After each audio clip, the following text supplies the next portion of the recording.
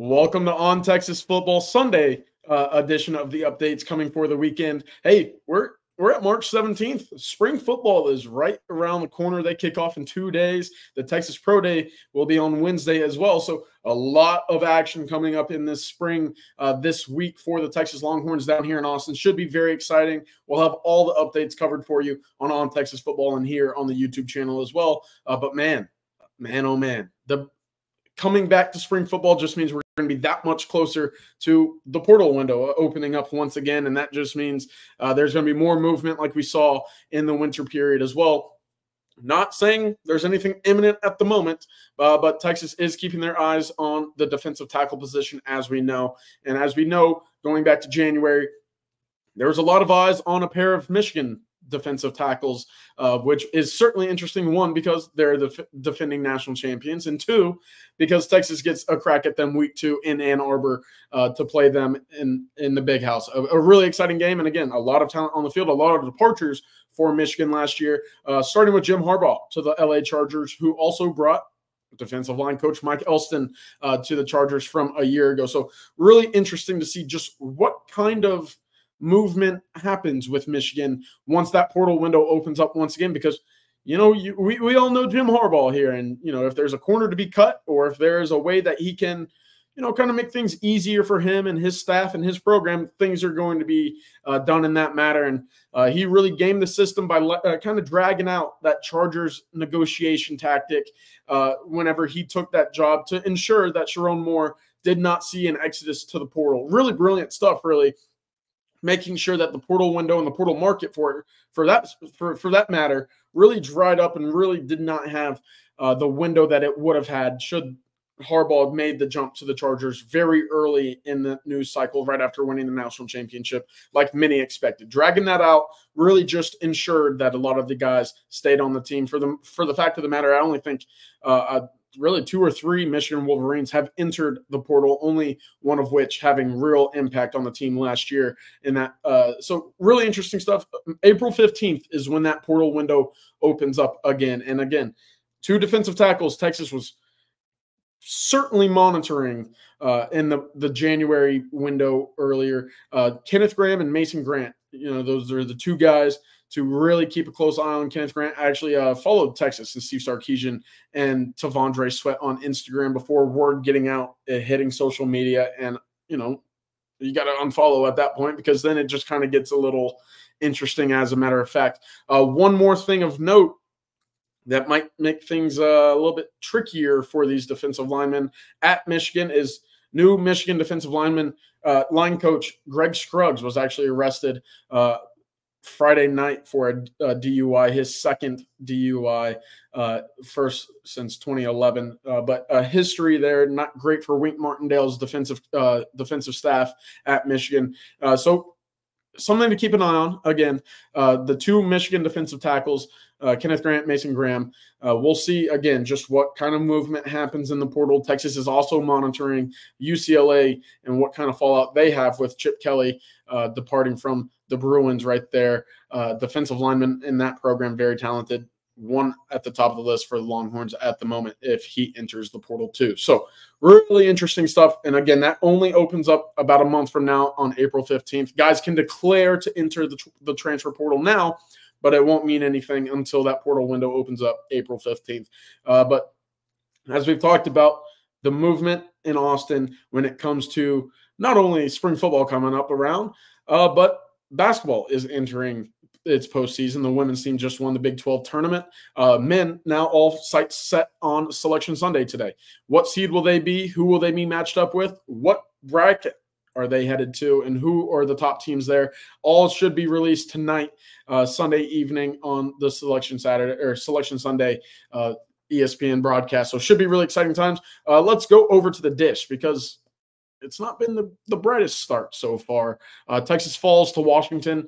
Uh, at this point in 2024, you don't want to hear Washington at all. The Huskies now your favorite or your, your least favorite animal. Uh, the the cool you know purple and gold that Washington has is no longer cool. You just don't want to see Washington at all, and I think that is fair. You know, following the Sugar Bowl and now this series against Washington at the dish never see that team again. I think uh, is what most Texas fans are are looking at right now. But Texas now sits ten and eight in their 2024 campaign, and to say it's been rocky, uh, I think would be you know putting it pretty lightly. You know, you you start off pretty hot, then you go into Houston and you get swept by LSU. You blow the game to Texas Tech. Uh, you blow another big game in which you led by eight runs to Vanderbilt. You lose the midweek to Texas A&M. Then you go to Lubbock and things start turning back around. You know, you put up a 22 spot in the opening game of that series in Lubbock, and things, you know, again, you start looking at it like, all right, we just had to get over the hump. We just had to get the conference play uh, and really settle down, settle down a little bit. You win that series in Lubbock. You win against Incarnate Word uh, in the midweek, and then now Washington comes to town, and you're sit back you know, kind of wondering what is the identity of this team. You just don't know at the moment. You thought Porter Brown would be the face of this team. He's had a slow, kind of sluggish start so far. The pitching, especially in the back half of the bullpen, has not been great. You lose uh nine to three and five to three. Now you're starting to wonder about the offense again. It's kind of again, it's not been great, and I, I have to wonder, you know, what depth are you sitting there on that Texas lineup thinking, yeah, I feel good about these guys. Uh, it, it, it, hasn't been great for David Pierce's squad, and there's been a lot of unfortunate, you know, uh, moments for this team so far. So at 10 and 3, Texas gets Air Force for a, a, a pair of midweek games coming up. And luckily this year, you don't have to face Paul Skenes throwing 102 at you like we saw a couple years ago when Air Force came to town. But big series against Baylor uh, next weekend, starting March 22nd through the 24th. It should be a series in which the Longhorns take that series. And by all means, it would be huge for them to sweep that series and really get things back in the right direction. Because again, if you don't win this afternoon against Washington and you go into uh, a, a, bit of a losing skid, that thing can really start sliding quickly, especially with a pair of midweek games here. Um, not what you want to do with the heart of the Big 12 coming right up uh, here to get going. So Texas got to figure it out.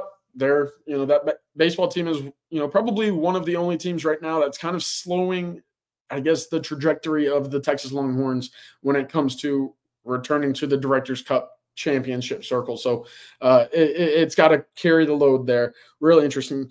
Uh, but I wanted to get to spring football because, hey, like we said, only two days away from the start of spring football. And on top of that, we're going to begin with the NFL Pro Day because uh the, or the Texas Pro Day because I don't think a lot of people are are giving it its due at the moment.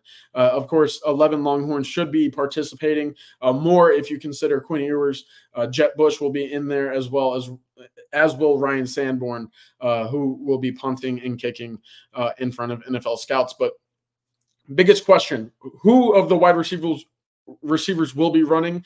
I do not think you will see Xavier Worthy running routes. Uh, he ran his 4.21 at the combine. He kind of checked the one. I don't even want to say if it's a question mark or not, uh, but he did go out there and he set the combine record for the 40 yard dash. No real need right now to go out there and run again or participate in the drills for the Longhorns uh, this Wednesday. Uh, he will be there. He will be supporting his his teammates as well. But I wanted to get to who this day is really for, and that's for guys who did not have great combines, did not have Senior Bowl invites, or did not participate in them. It's for a guy like Jordan Whittington, you know, to get in front of these NFL executives and scouts one last time and really get the idea of uh, putting on one more time for an audition to the NFL. That's what this uh, this Wednesday will be for Jordan Whittington. Again, he was invited to the Reese's Senior Bowl. He did not participate due to a, a pulled hammy, uh, a lingering issue that affected him during the combine as well. He only was able to bench, and he did bench very well. 18 reps was tied for fifth most of the wide receivers in the 2024 combine, but that's not the real question with Jordan Whittington. We know he can be physical. We know that he can block. The tape sh- shows that he is a willing and a, a a guy that embraces contact whenever he's in the blocking game. What can he do in the passing game is really where he's going to make his money. And right now, not being able to run routes, not being able to show off his hands, not being able to do tests and drills and measurements uh, and uh, the agility side of things, not great for his stock right now, uh, who is kind of sitting right on that outside of the draft looking in. Uh, for a guy like Keilan Robinson, this is another opportunity to go run 4 4, maybe an opportunity to run 4 3. And that would really start looking into uh, a potential to get drafted for Keilan Robinson. As Rod has been mentioning, mentioning uh, the change in NFL kickoff rules could really impact how teams approach special teamers uh, moving forward. And a guy like Keilan Robinson in a world where kickoffs are now I guess, more open to uh, big returns. Keilan Robinson's stock is going up right now. Of course, I do think Jordan Whittington and Keilan Robinson, I think all of these Texas Longhorns will find homes. Will it be in the draft? That is the big question mark. And again, the Texas Pro Day is here for that reason to kind of look at it and say, all right, now we know uh, where these guys are officially going to fall. About a month from now, April 27th, April 24th, kind of in that range is when the NFL draft will kick off above anyone else.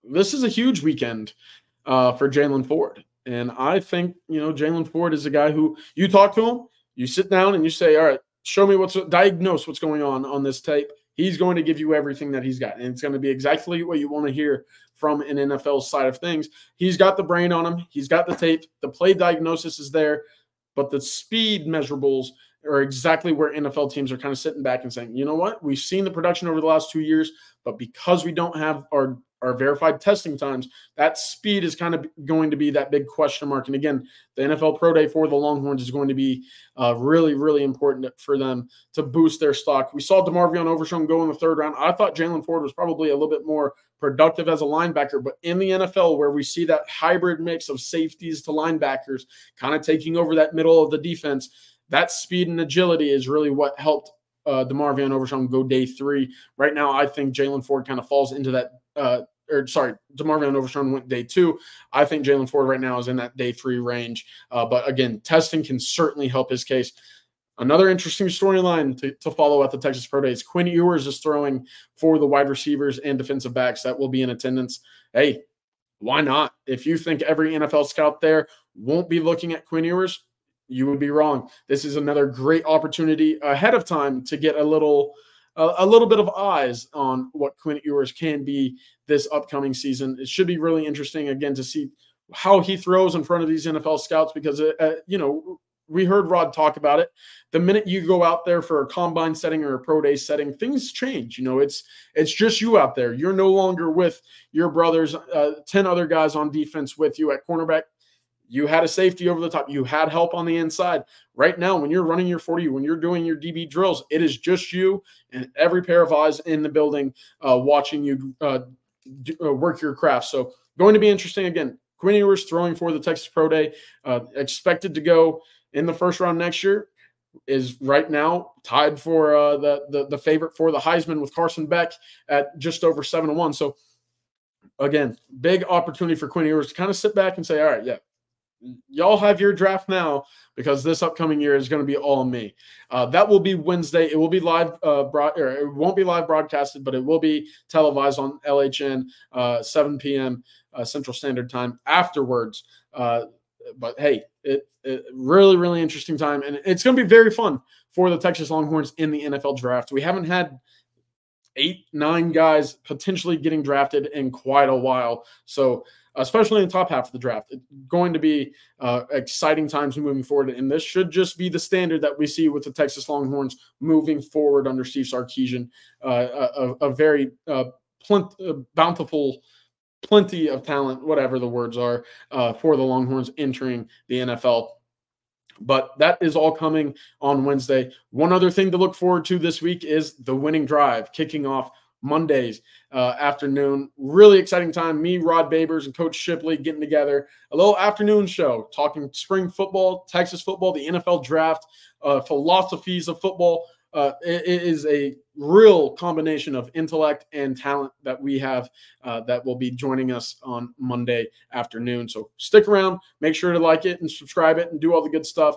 Uh, for now, Sunday Fun Day concludes. Find us over at ontexasfootball.com. Of course, big game for the Texas Longhorns baseball team this afternoon as well. And the Texas spring game and pro day kicking off this weekend, Tuesday and Wednesday, respectively. Uh, but for now, that will do for Sunday Fun Day. I'm CJ Vogel and Hook'em.